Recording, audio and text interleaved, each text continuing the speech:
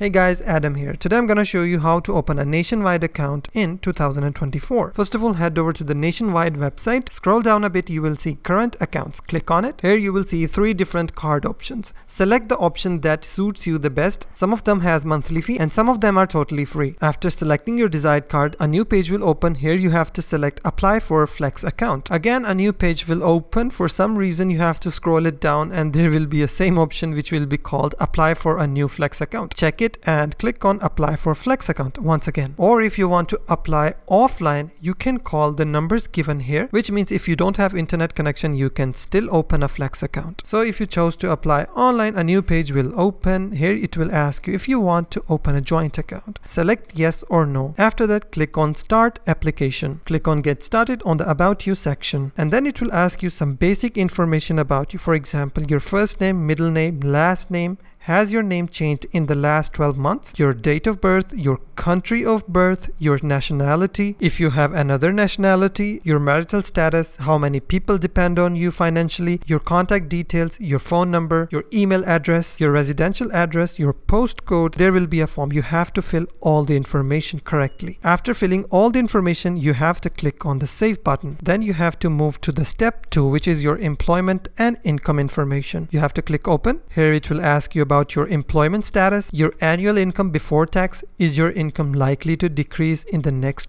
two years? Are you liable to pay tax in any other country? And then it will ask you about your industry, your job role, your approximate start date, your employer name, and also it will ask you about the address information where you work. And then it will ask you about your personal expenses like rent or mortgage, property service charges or ground rents, childcare costs and school fees, maintenance to support a previous partner or children, student loan repayments. You have to fill in the form correctly and then click on save. And then it will send you to step 3 which is quite easy about arrange overdrafts. Would you like an arrange overdraft? Yes or no? Select your desired option and click on save. Here you will see find out what you're eligible for you have to click on continue and then it will say you that you'll also get a flex instant saver which is like a savings account based on interest and I'm strictly against it. So I will click on I don't want a flex instant saver and click for apply which will take us to step number 4 which is switching your bank account. Click on open. It will ask you would you like to switch your account to us so you will have to select yes or no. I will select no and click on save. Continue without switching and then on step number 5 I will click on open. Here it will ask me some multiple questions like what will I mainly use this account for?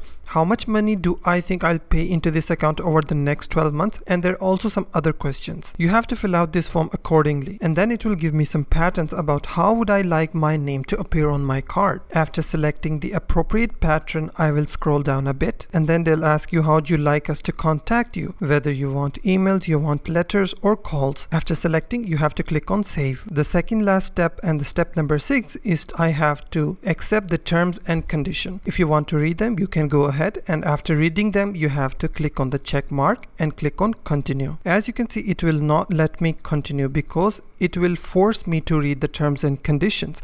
I will click terms and conditions and I have to scroll down all the way to the bottom and then click on I agree. And now I will select again on continue and it will proceed me to the last step which is ID check. I will click on open and now it will give me two options to verify my ID. If I want to submit them offline, I will skip this part and click on continue and I have to submit the bank manually by visiting them. The online option is more convenient. All I have to do is click a photo of my identity card and I have to upload it and also I have to take my photo which is also called a selfie and I have to submit them. After my ID verification, my application has been submitted successfully. Now all I have to do is wait for them. It will will take approximately two working days and then I will receive an email or a letter or a call and they will let me know if my application is approved or not. If you have submitted all of your information correctly, then your application is likely to be approved. And that's how I can open a nationwide account in 2024. If you found this video helpful, then make sure to hit the like button and also don't forget to subscribe.